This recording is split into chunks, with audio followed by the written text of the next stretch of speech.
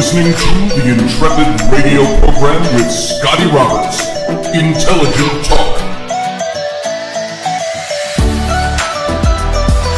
Hey, folks, happy Tuesday. This is Scotty Roberts. You're listening to my show, the Intrepid Radio program, right here on the Odyssey Radio Network. That's O D Y S Y 1.com. Come on over, see all the goodness that's Odyssey Radio.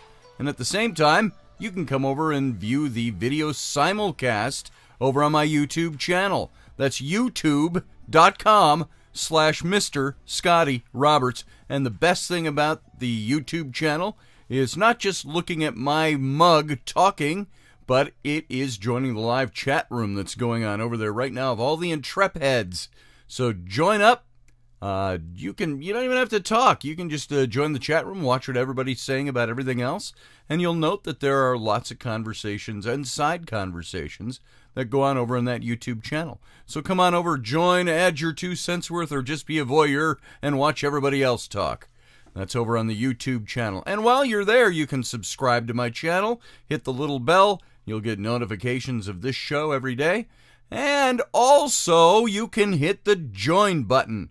And the join button should be at the bottom of this video. If it's not appearing there, it's because YouTube has slammed me with yet again another uh, uh, copyright in, infringement, violation of some kind hit, uh, when it's not a copyright violation at all. They just have an automated system set up, and every day it nails me for the same two pieces of music the opening music and the end music, which is used for the middle section of the show as well and uh, it's I've already owned the license for that. I've paid for it, uh, so uh, I shouldn't be getting the hit. But their service uh, hits it every day anyway, and so there's a couple of them they've cleared, and a couple of them, and a bunch of them they haven't. So if you don't see the join button, that means this has a copyright hit against it until they figure out that yes, it is indeed the same music that I've paid for and that they've already cleared on other videos.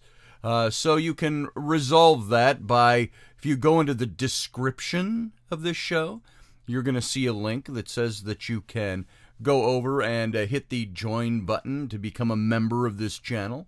Uh, there are other places you can do that as well. You can go out to the main page in a separate window, and uh, you'll see the join button is out there underneath the header on the right hand side of the page. So there you go. There's all that wonderful information about becoming a member and joining up with the Intrepid radio program page. And we'd love to have you go look at the perks that you can get for becoming a member. And I would say that tomorrow morning we are going to do another members only. That's Wednesday morning. We're going to do another members only coffee chat at 6 a.m. Central. That is 7 a.m. Eastern. That's going to be all the way, as Audrey knows so well, 4 a.m. Central, uh, Central, 4 a.m. Pacific Coast time. And Audrey always seems to be up, so she's always here at 4 a.m. So uh, come on over tomorrow morning for just a lousy cup of coffee at uh, 6 a.m. Central Standard Time, and that's members only. And the only way it opens up is if for some reason YouTube is still not working when it comes to the chat that's supposed to be open chat for members only. And if that doesn't work, we always flip the switch and turn it over to a live chat for everybody involved.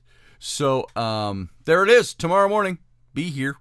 And uh, today, I want to start us off uh, with nothing political. I don't even want to jump into current events in the news. There's still all the same old stuff that is bothersome for some, uh, uh skippy yippy joyful for others. Uh, I would say uh, the whole COVID vaccine thing has a lot of it seems like there's a lot of problems that are being reported, but that are being suppressed. They don't really want you to hear about that stuff. If you think there is not, let's get to a totally different topic, not even the COVID. If you think there is not news suppression in this country, uh, think again. Uh, play this leg and it'll pull this leg, it'll play jingle bells. If you think that there's no no information suppression that is going on in this country, be it for the election, be it for uh, presidential candidates, be it for uh, uh, politicians, be it for political movements, be it for vaccines and viruses and things like that. It goes on out, be it for military, be it for anything. It's out there. And uh, you guys, uh, you think for yourselves, so most of you should already be well aware of this. So uh, just think as you see some of the headlines coming out, not everything is what you think it is. And uh, now that's maybe one big, fat, juicy, white butted American conspiracy. But you tell me a time where you think that the government hasn't lied to us before. Let us know what that is, and we'll talk about it. All right. So I want to start with our Spark Courage 50 Ways to Be Bold. Again, those of you who are new to the show and you haven't heard this before, uh, this is a little matchbox, a box, a faux matchbox with filled with guess what? Faux matches. They're not real matches, but uh, it's. Uh, I picked this up at a garage sale or the thrift barn or something. Uh, Rainey, where'd I get this? Which one? This uh, Courage. I think the barn. I think it was the barn. It was over at the barn, the thrift barn, and uh, I got it for like fifty cents, something like that. Barn. The Heritage Barn. Yeah, that's that's when you know we're from the Middle West. You know, you can hear our our you know, hey, we're gonna go over to the thrift barn today. okay, don't you know? Uh, so uh, uh, got these at the thrift barn for you know pennies, and uh, we draw from this every day. We're gonna there's a finite number. There's only 50 of them in here, but I like to draw from these and uh, just extemporaneously see what the heck we we've got for today. Um, okay, this is different. We haven't had this one before. Take a look at that. See if you can read that. Do something alone that you'd normally do with someone else. Ooh, kinky. if you didn't hear that, Rainey was like, "Ooh, kinky." hey, come here, Rainey. Why don't you talk about that one? I don't know. What do you got for that one I'm for working. us, I'm working over here. I'm working. She's working, so she can only. Well, come business. over and at least say hi while we're at it, since you're I yakking don't away. even know what I look like. You look absolutely amazing. There she is. There's my beautiful wife, Rainey. There she is. Yeah, Hi, there- everybody. Uh, uh, she lets me be on the Rainey show every now and then. Welcome to the Rainey So- show. Ooh, I'm gonna use the camera to look at myself here. Oh, Wow. Oh, yeah. I should probably fix my makeup. No, you look beautiful. so, um, yeah, uh, spark courage. I'm going to talk about that. Yeah. Just kind of extemporaneous. Do do something for yourself alone that you would normally do with somebody else. Now, of course, lots of. That's where she went. Ooh, kinky. Uh, well, you know, we can all think of those wild, crazy things that you could do.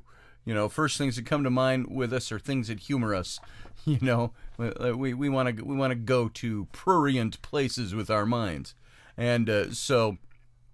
Uh, but what else is there? What kind of thing that makes you bold and makes you courageous? What would be something that would make you feel bold and courageous about yourself that you would do by yourself as opposed to something that you would normally do with other people? Can you think of anything? Not really. Not really. No, that's a tough one. Okay. What would I do with somebody that I do alone? I I would say like uh, um, this is a tougher. This is probably the one that stumped me the most out of all these that we've done. What would I do alone that I would normally do with somebody else that would, in a sense, bolster my boldness and my uh, build my courage up? Uh, might it be, oh, I don't know, uh, walking through a dark wood, you know, at night? There's some people deathly afraid of the dark. And you say, I'd go in there if I had somebody going with me.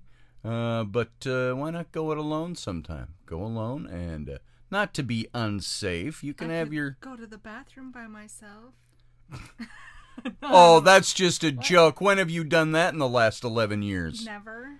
so, Never. since we've had children, you know, we could have a quiet hour in here working on stuff. You go, something's up with the kids. And she goes, I'm going to go check on them, but I'm going to go to the bathroom first. She- As soon as she goes in the bathroom, kids.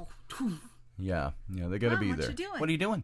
What are you doing? What's going on? we, we heard you leave your chair. I got something. Yeah, well, you left the room. so, anyway, uh, so I think it's something like that. It's the things that would bolster your courage. What can you think of in your own experience that would be something that you would normally do with somebody else, but now why don't you do it alone? Find yourself doing it by yourself so you can build your boldness and build your courageousness. Maybe it's something about, oh, I don't know, speaking out about something, about something you believe in. That's easy to do when you're with a group or when you're with other people. What if you're alone and you got to speak up for yourself? You got to go stand up and go, wait a minute. I got something to say about this.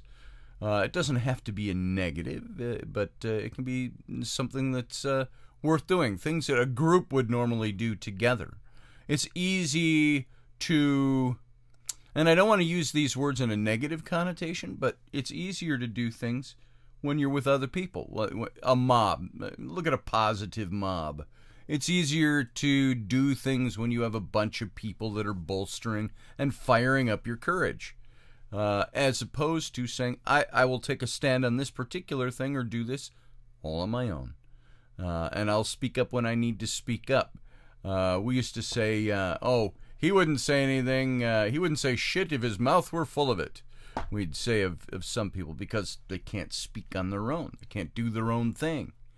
Um, and sometimes, I don't know. I suppose we can look and find the negative aspects in all of this kind of stuff, but I think the positive aspect is that you're doing, you're doing something, you're building your own courage, uh, you're bolstering your courage and bolstering, and you're you're growing it in a sense. Uh, you're becoming. I used to be deathly afraid to speak in front of people, and uh, I what? could. I know. What are you talking about? You, When you was were that? like one?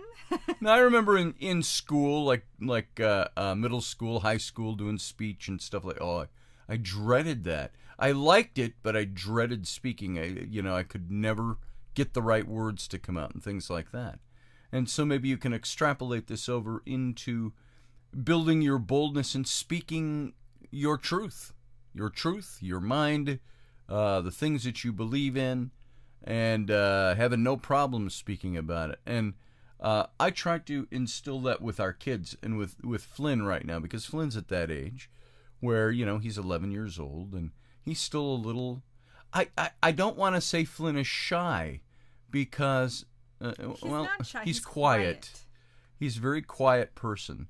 Um, but I would think, and sometimes I say to him, well, like when we'd go out and sell Cub Scout popcorn and stuff like that, you're standing out at a table in front of a Walmart entrance, and you got to talk to people when they come by. If I were to have left it to Flynn, he wouldn't have any sales because he, he's just not that kind of person. He doesn't like to speak up. Yep. And of course, he was he was a kid, nine and ten years old when we were doing that. Now he's 11, and, and we run into those, and I'll say, Son, you have the ability. Speak what you believe. Speak what you're thinking. Speak your mind. He doesn't have any problem doing that here. No. That's for sure. If you if he doesn't want to do what you ask him to do, you know it, and it's Yeah. loud. Why do I gotta clean my room? Why do It's I gotta do my nothing? room. It's my room. I'm the one who lives there. You don't got to live in there. You don't. You can stay out of my room. I said, well, bravo for speaking up, but uh, I got a different plan for you. But uh, what it took with him was sometimes I would say, you know, just use your boldness, use your courage. Get out there and go, good afternoon, you know, how you doing? I'm selling popcorn. I bet you could use some. You know, whatever it might be. Um, now, that's not speaking truth. That's bolstering your courage. And uh, one of the things that um, my friend Carr Hagerman, um, he was the entertainment director at the Minnesota Renaissance Festival for years, and he practically grew up out there. And uh, he's older than I am by a couple of years, but uh, he's been out there, and he was one of the main characters out there that people would want to see. And uh, he wrote a book about, uh, I don't remember the name of the book, but it incorporated, he said, some of the people who did Renaissance Festival and we were out there doing street entertainment were some of the best business people that he knew because they knew how to, it wasn't putting on artifice. Uh, uh, and falsity, but it was the ability to stand up in front of somebody and say, "Here's the new product. This is what we're working on. Here's the idea. Here's the platform." And you can switch, turn that over from comedy on the street uh, to a seriousness in business. And so, uh, speaking up and doing things that you would normally do with somebody else, only doing them alone. Uh, and I, I immediately go to speaking up for yourself. What do you think of? What comes to your mind? You got a chat room over here. You can type in what you think, as I'm sure some of you already did when Rainey yelled "kinky." yeah. yeah. Yeah. So uh, that's it. That's it for Okay. courage today. Sorry. I'm not more helpful on that. That's all topic. right. It's all right. I'm working on. Get, I'm, I'm working. I'm working You're on working. orders over there. Working. So when you're gonna go work alone on things that you would normally do with other people, just call me. okay, I'll come over. I will. I'll call you. Scotty. Mm, all right. Have fun. I will. Thank you for your input. You're welcome. Rainey, uh, uh, folks, that was Rainey Roberts, the one and only. And uh, so let's move on. Let's let's get into talking what we were talking about yesterday. What we've been talking about for a couple of weeks, and that is uh, well, not a couple of weeks really. It's only been a week and two days. We've been talking about this whole thing of holy language.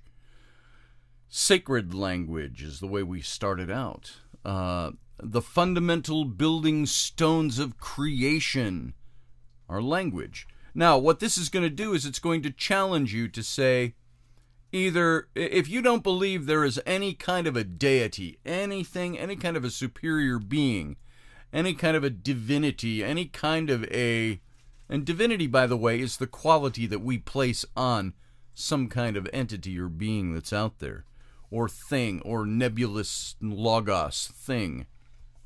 Um uh, it's it's the idea that there's an originator, a creator, and that all that is came to being because there is a universal language.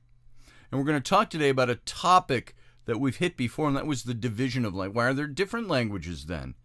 Uh, if there are, if there was a foundational language that God created, why did He allow language to be divi- divided? And of course, what the challenge for you is going to be if you're not a person of faith at all. If you don't have a belief that God did those kinds of things that are written in biblical text, then it's going to be a tough time for you to swallow the concept. So, the idea we were talking yesterday about frequencies, and we were kind of ending up by saying the full scope of this ability and power is if resonating sound was amplified loud enough and long enough across the land continents of the earth, nature would be forced to obey. And it's also interesting to know that sound travels faster through water and through solid ground than it does through air. And so the science is definitely there. We just don't know enough about it yet, or, or maybe we do, and it's been quelled and suppressed by certain undisclosed high ranking alliance leaders that work hand in hand with governmental officials. You know, I was reading a book today. Rainey, would you do me a huge favor? Uh, in the bathroom, on the big stand, there's a little paperback book about uh, uh, uh, something for the weird. Wisdom for the weird, or words for the weird, or Blessed are the weird. Manifest. blessed are the weird. for creatives. I want you to. I was looking at this a That little bit this morning. germs on it? What's that? Does that have your poo germs on it? Nope, no poo germs. This was in the bathroom, though. This is the book. I recommend it. Uh, I had read through pieces of this once before for myself because I wanted to see what it was about. But it's called Blessed Are the Weird or Blessed Are the Weird. It's a manifesto for creatives. And uh, it's written by Jacob Nordby and it's published by. Published by, I think it was uh, it was a weird name, Manifesto Publishing House. So it's Manifesto for Creatives. It's probably self-published. Um, and so I want to read a little bit of this introduction. This is where this fits in. This whole thing. Now, this is going to be, you think it's weird for some people to be able to understand and believe that there is a God that's out there, an infinite being, a creator, an originator, uh, a divine sort of being. Listen to this. Ancient texts and recent discoveries suggest that human civilization had once advanced to levels nearly as high as our own, maybe even every bit as high. The records are spotty, but information patterns are emerging to reveal that we have likely been here before. We've been in this place before. It's almost like sometimes we have a a, a, a, collective deja vu that hits us and go, oh, whoa, haven't we done this before? And uh, then it would appear something happened. It seems possible that an extremely advanced worldwide civilization came crashing down in an apocalypse so thorough and thorough and widespread that it nearly erased all memory of what has been. I remember talking with uh, Graham Hancock when he was at one of our paradigm symposiums, and he was mentioning this whole idea of do we have collective amnesia? That we have forgotten these things. Now, I've taken, I've rabbit trailed off of something that I mentioned is that to accept some of this thing about holy language, to accept some of this stuff about frequency, about an originator, a creator, and all of these things, a divine entity that is in control of all these things, one that, as we'll talk a little bit later today, uh, about the, uh, the the the Tower of Babylon, the dividing of languages, a cognitive act of a creative being who gave us an original language and then divided them for a purpose. I rabbit trailed off of that and said maybe there's something more there. Um, so, did the whole world, do we have a, a collective amnesia about things that happened to us in our past? Fragments of those memories are resurfacing now and again as we approach another zenith in human progress. As the puzzle pieces show up in mysterious and timely ways, we're forced to ask questions about who we are, what we're doing, and if maybe, just maybe, this time things might be different. And then we ask ourselves, well, why did I say that? This time things might be different. And among these hints and shadows of what might have come before, one warning stands out. When humans create a world that is widely out of wildly out of sync with the laws of nature, disaster strikes with inevitable rebalance and, and, and an inevitable rebalancing occurs. We've created such a world and we have done so with blinding speed and momentum. It's almost as if the ant pile got kicked over 10,000 year, of years ago, leaving just a few behind to rebuild things to wake to in the wake of some sort of disaster. But like ants do, we did rebuild, and the world that we've created seems to be reaching the tipping point once again. The world's religions and ancient wisdom traditions have various stories about what might have happened back then great floods, a giant meteorite strike, a human created technological disaster that may have involved worldwide conflict that ended in a nuclear style bang, or some invasion from external cosmic forces. The specifics aren't clear, and I'm not going to speculate about them in any particular story. In fact, as Joseph Campbell once said, literalism is idolatry. Think of that when we talked about uh, uh, the literalist uh, um, Orthodox Christian Church. Literalism is idolatry. To get wound up in details and chase around trying to prove or disprove anything would merely block us from seeing a pattern of information that is emerging and begs for our attention. And this information suggests that when humans unconsciously create, create, create out of fight or flight reaction to the forces of nature and each other, in an effort to secure our own safety, we ultimately develop a lopsided, out of balance situation that is doomed to implode. Think about that for a minute while we go into continuing to talk about universal language, something that was created and something for which has spread like like the branches of a tree, everything in the universe. And everything under our hands of creation, under a creator and uh, an originator. So let's get into this when we get back. We'll dig a little deeper. You guys all sit tight. We'll be right back after this break.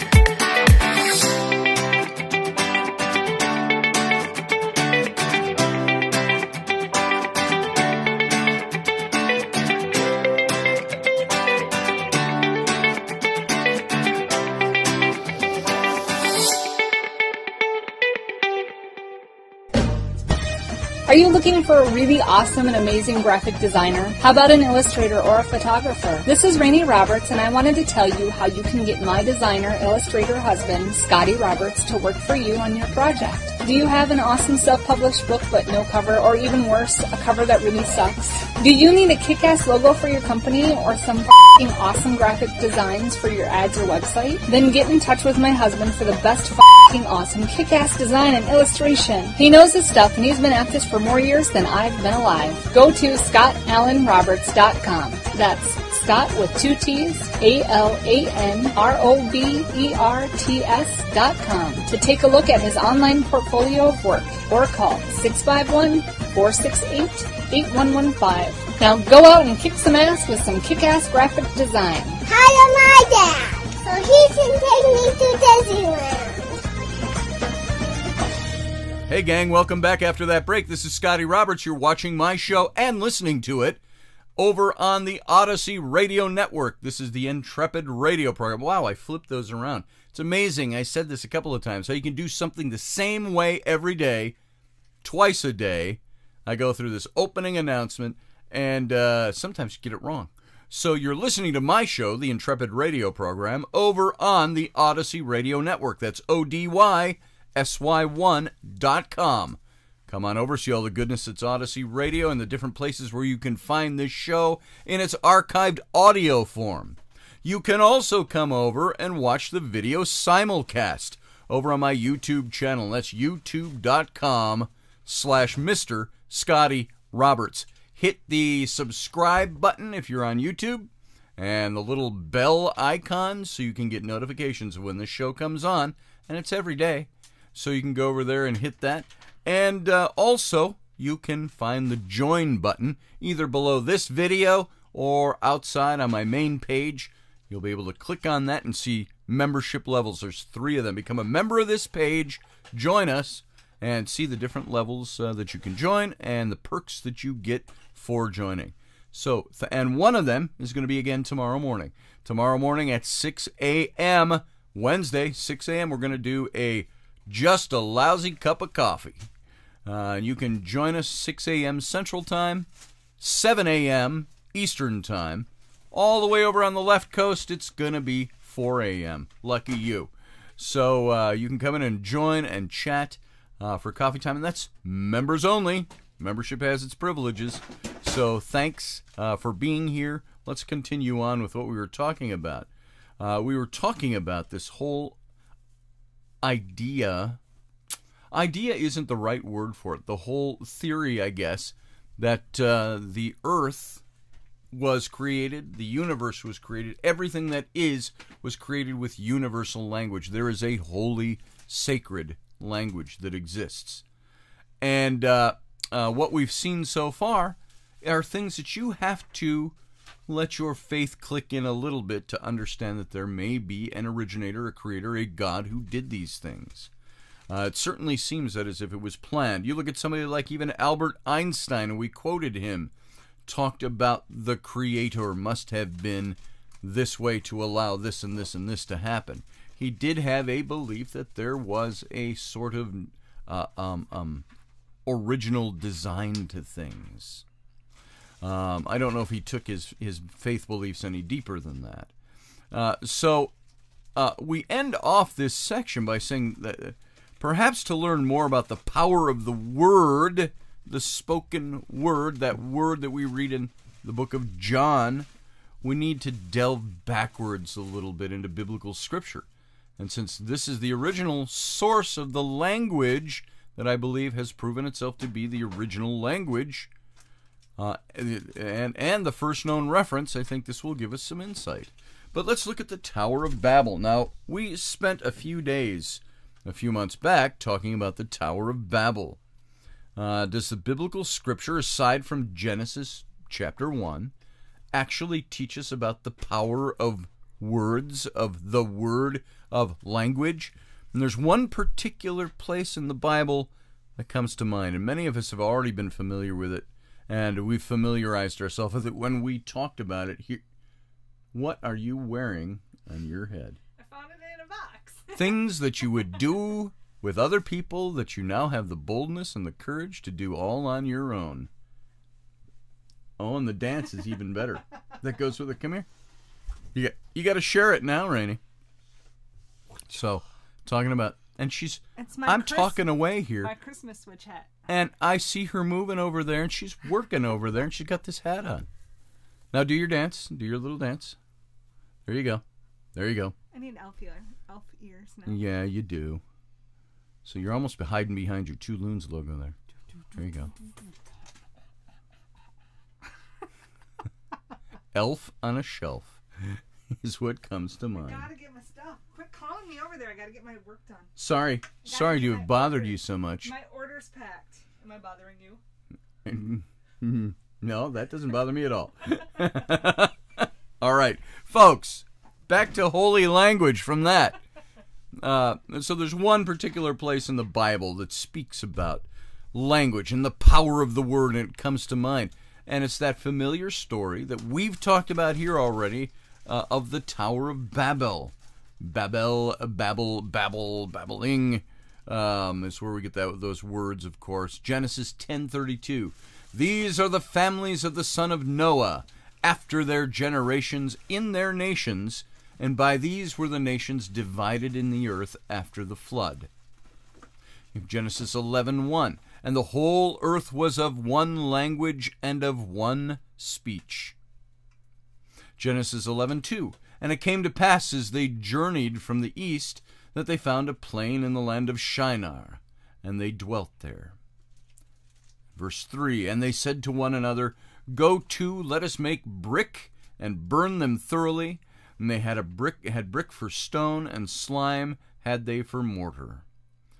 And verse 4 And they said, Go to, let us build us a city and a tower, whose top may reach unto heaven. And let us make us a name, lest we be scattered abroad upon the face of the whole earth. Verse 5 And the Lord came down to see the city and the tower, which the children of men built. And the Lord said, Behold, the people is one. They all have one language, and this they begin to do, and nothing will be restrained from them which they have imagined to do. Verse 7 Go to, let us go down. Go to is the, the go to words here for each one of these verses. Go to, let us go down, and there confound their language, that they may not understand one another's speech. Verse 8 So the Lord scattered them abroad from thence upon the face of all the earth, and they left off to build the city. And verse 9 of chapter 11 of Genesis Therefore is the name of it called Babel, because the Lord did there confuse the language of all the earth. And from thence did the Lord scatter them abroad upon the face of the earth. Now, you have to wonder in this scene, why did God choose to confuse language? That doesn't make any sense to me. It says if they keep doing and building this, there's not going to be anything they don't do. Wouldn't you want your creation to go, hey, I want to see my kids grow. I want to see them develop. I want to see what that, I want to sit back sometimes. Go, wow, let's see what you can achieve. And this was all based on making mud bricks and using mud slime to stick them together to build a tower that would reach to heaven. So, is that what was really going on? We looked into that a bit uh, when we were in that series. That's is that what was really going on? What was that a cover story for? Is the first question, uh, and the second one is why would God see His finite creation, um, Him so omnipotent and powerful above them, while they are like ants on the face of the earth, building a mud brick tower, and say, "Whoa." If they keep building this tower together, there's nothing they ain't going to be able to do. I've got to confound them. That makes no sense to me. I want to know why. And there are a certain number of other things God could have done to punish them other than just confuse their language. And why are they being punished? They're being punished for building a brick tower and thinking that they can reach up into the heavens.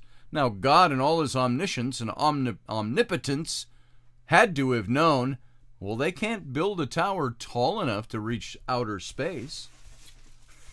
She's uh, over there mocking me. I, I was dancing. Sorry, I'm thinking she's about what I'm doing. dancing while I'm talking. It was almost to the words I was speaking. So she's doing other things. All right. There you go. Scintillating live recording. So, uh, Leslie, if you're listening, this is all while I'm packing up your stuff. oh, Leslie, this is all for you. She's packing up your stuff, your order of stuff here. So, uh, We got happy dance. in uh, she's happy dancing, and I'm okay with that. I just usually sit back and watch. So, uh, things you would do uh, with other people that you are now find yourself doing alone. Put good energy in all packages I ship out. She's putting good energy in all the packages she ships out. I wish you guys could all see this from my point of view here. Uh, looking over there. You just see her close up here. You see her way over there on her side of the studio doing her thing. I don't think I could even turn this, and it's such a disaster in here. And it, well, I got all my stuff. That all and things are in the way. My mic is in the way. I just flipped this this whole unit around. And you could see what was going on. Moving on. So uh, Sodom and Gomorrah, for instance, the use of fire and brimstone. God did that to punish. Why is he confounding language? Is it possible that the destruction of the Tower of Babel was due to the corrupt use of the Hebrew language? Perhaps they may have incorporated the technical ability by using a specific Hebrew letter with resonating frequency to control the environment within that tower, and that ascended to great heights into the atmosphere. This specific Hebrew letter that they had incorporated was the Hebrew letter Pei, P E Y.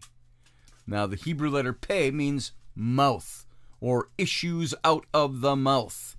This has everything to do with the connection to speech and language, and would explain the reason for why God chose to confuse language, though there was much more to this. Now, we do know that they certainly had the resources to build the Tower of Babel. Genesis 11:3 again, and they said to one another, "Go to, let us make brick and burn them thoroughly." And they had brick for stone and slime they had for mortar. Now, science is discovering that the difference between sun baked and fired bricks. Fire baked bricks are much stronger. Firing the bricks at temperatures of 1500 degrees Fahrenheit for 24 hours causes the clay particles to stick together, allowing for a much stronger material. Now, when I was in Egypt and John Ward and I went into the mud pits like the uh, Hebrew slaves of the Egyptians, and we stomped out mud, stomped uh, straw into uh, mud to make bricks, and we poured, took clumps of mud, threw them in wooden forms, smoothed them off, and removed the form, and you had a brick shape that dried in the sun for a day or two. And uh, that is the difference. Hold on. Excuse me. Whew. Because it's a visual, I couldn't stop anything there. And those of you listening in audio, happy day. There you go. Bless me. And so, they sunbaked these so they were stronger brick. And the strength of one of these single bricks can withstand about 6,000 pounds before it crumbles the brick. Now, this would have enabled them to build a tower almost two miles tall, uh, the way they would use the brick. Now, this is five times taller than the world's largest buildings today. So, if they had the technical ability to build a tower that far up into the atmosphere, they may also have had the knowledge of frequency, along with the knowledge of employing the Hebrew letters to have an unbelievable colossal control over the whole environment. Now, remember, we talked yesterday about frequency and its constructive and destructive power. Now, the problem with the tower project was that it wasn't authorized at that time by God. Not only was it not approved by God, in accordance with the scriptural story, but it might have also been hostile to the workings of nature by disrupting God's natural design and cycle. In other words, they were erroneously misusing this technology for their own self centered means. Remember when we talked about uh, uh, the Ten Commandments, and the commandment said, Thou shalt not use the name of the Lord thy God in vain, or you shall not use the private name of God for self fulfilling and vain purposes, is what that verse actually means. This is another uh, example of doing that kind of things. They were misusing technology for their own self centered means. They took advantage and overlooked the value and the importance of the natural workings and harmonization of the ecosystem that was created by God to be perfectly balanced. As the scriptures tell us, they sought to do whatever they wanted with such controlling power that it would eventually dominate and destroy the environment. How about that? I never got that out of the Tower of Babel story. I thought they were just building a tower. Building a brick tower. It says in Genesis 11:6, and the Lord said, Behold, the people is one, and they have all one language, and this they begin to do, and now nothing will be restrained from them, which they have imagined to do. And again, I'm back to that question why did God not want to allow them to spread their wings and learn and do things? Now, this may have been the real reason, the critical decision for why God had intervened by confusing the sole source of their power language, the power of words. This assumption that the Tower of Babel employed the power of the Hebrew language by utilizing the frequency of the letter Hebrew pe can be seen in its overall design in the ziggurats, and some of the some of those we still have left today, better known as a terraced pyramid. And archaeologists have found ziggurats in southern Mesopotamia, which is associated with the city of Babel, uh, the plain of Shinar. In addition, Babel is also known as Babylon, which is now modern day Iraq. And they were called ziggurats because they zigzagged in design, following an alternating, alternating course, which gave the appearance of a tilting effect. And the spiraling inside is not structurally the case. This spiraling effect only occurs with each stage of a staircase that reaches to the next stage in building the staircase. And these staircases are on alternating sides and they kind of zigzag like this, up and down, so that when you have reached the top, you've traveled right around the tower. Thus, a spiral staircase is the true design of the tower. So, nearly 30 ziggurats in the area of Mesopotamia have been discovered by archaeologists and in location they stretch from Mari and Tel Brak in the north and uh, Dur Shah, uh, uh, Sharukin in the north, to Ur and Eridu in the south, and to Susa and Choga Zanbil in the east. Now we've mentioned a couple of these already, Ur and Eridu. Ur is the uh, um, the city that Abraham came from. Abraham, the father of the Israelites the Israelite nation. He came from Ur in the Chaldees. And Eridu is associated with King Atrahasis from the cuneiform text, the, the tale of Atrahasis, who called out to his god Enki to come and help him, and that was the city of Eridu. And the structure at Eridu is the, is the earliest observed structure that's designated as a ziggurat, and it's dated in its earliest level to the Ubaid period, which is estimated around 4,300 to 3,500 years old. However, its dates are still a matter of uncertainty. But in essence, this is a ziggurat's structural design. The, uh, it goes almost, uh, it starts in the center. It would be good if I had a graphic, and I don't. And it goes around and around itself like this and gets bigger and bigger and bigger as it as it grows upward, frankly.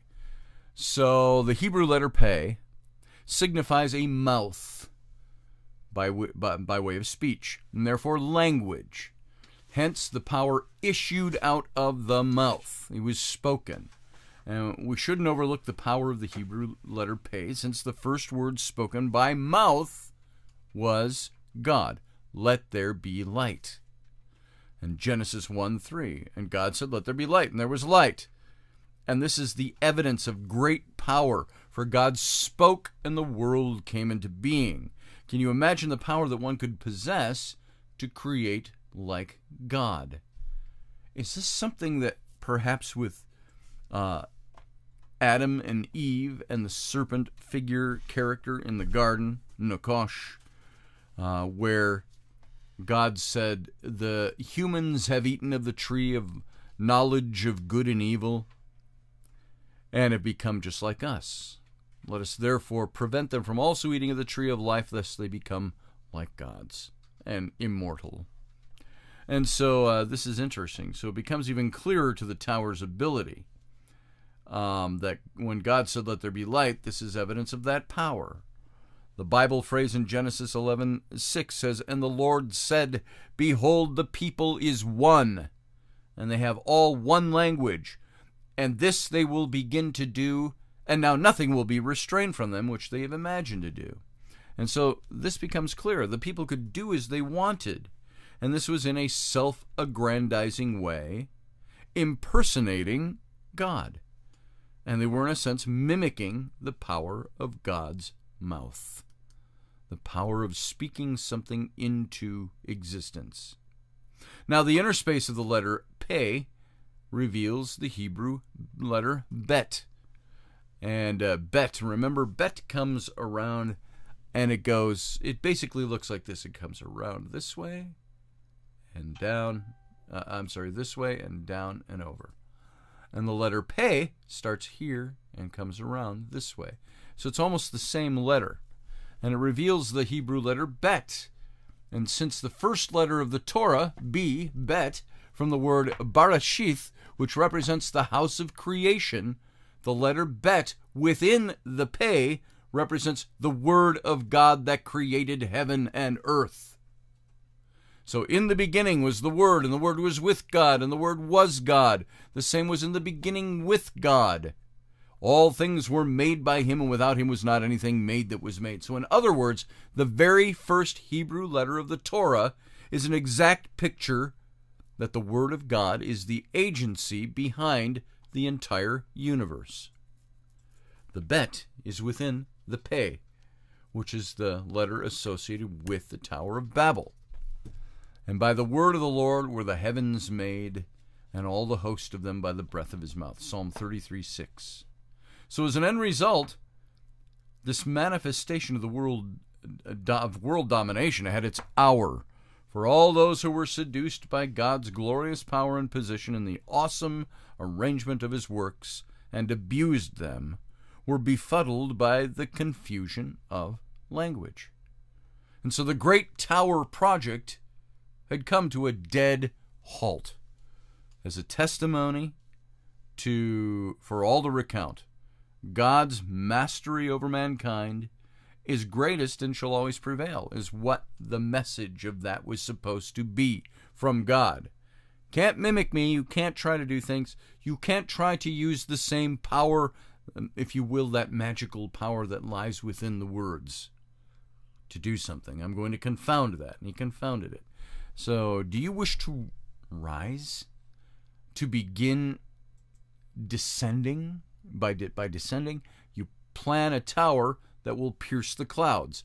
Lay first the foundation of humility. That's what St. Augustine said about all of this. So you can also look at an example like the Great Pyramid.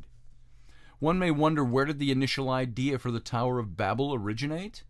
The people of Shinar must have acquired this knowledge from somebody prior to them, or did they just make this stuff up on their own? Now, in my research, and we've talked about this, I examined the book of Enoch, reaching into the arsenals of the biblical scripture, or rather outside of the canonized Old and New Testaments.